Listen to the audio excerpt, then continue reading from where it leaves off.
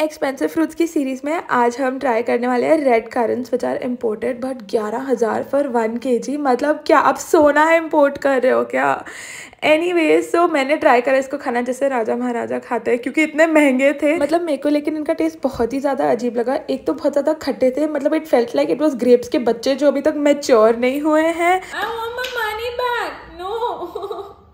Comment red heart if you feel my pain